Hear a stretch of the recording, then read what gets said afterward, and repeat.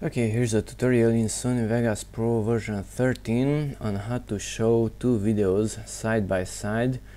The left side of the car is visible here and also the left side of the car is visible here.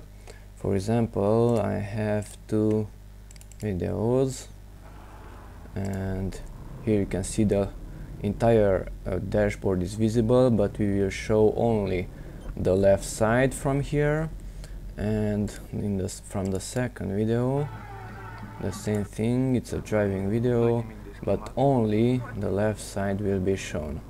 And the two left sides will be placed together side by side. Okay so let's see that one in Sony Vegas also.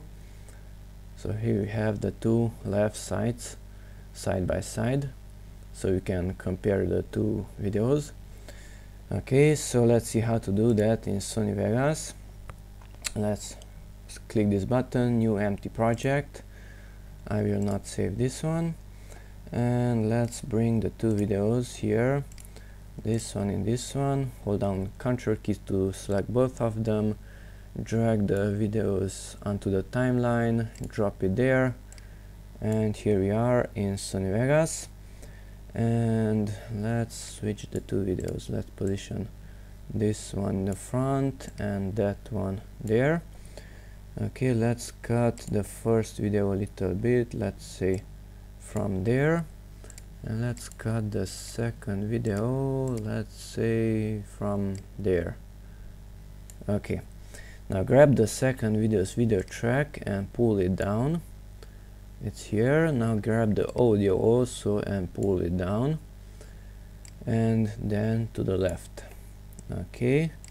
If I position a cursor there then we can see that only one video is visible. And thus we have to modify the first video track. We can make it identical in length okay?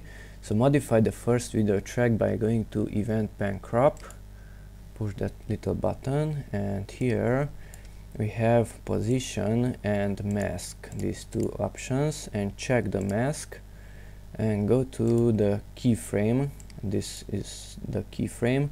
Make sure you click on that keyframe and work only one on one single keyframe because otherwise a transition will be created between the two points.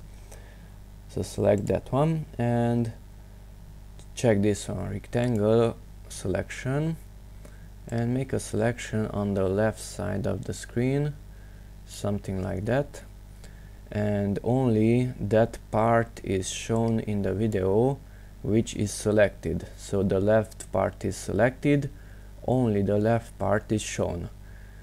Because this part was not selected then the second track below is shown this one the second video. Okay we can close this one.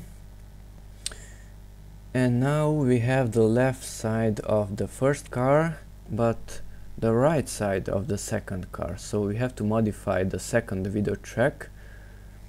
Okay so this is the second video track. Click on the event pan crop button and here we have to mo modify the position instead. So make sure you're on the, that keyframe click on it and grab this area to the left.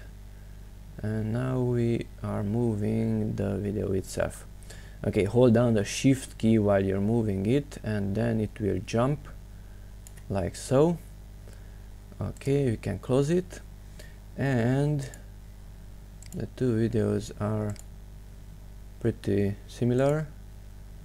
Okay but if we want to add a black line here between the two videos then let's modify the first video track event pan crop. And by clicking on that keyframe we can modify this line in the middle. Just drag it to the left or right. Now we have a thicker black line. Now we have a thinner black line and if you manage to move it exactly in the center then there is no line. So let's add just a little thinner line and that's it. We can hit play and now we have the two left sides side by side. And this was done in Sony Vegas Pro version 13 this is very good for comparison videos because the in this way you can see the same side of the two different videos. Okay these driving windows are not exactly perfect but it's okay for this tutorial. Thanks for watching and bye bye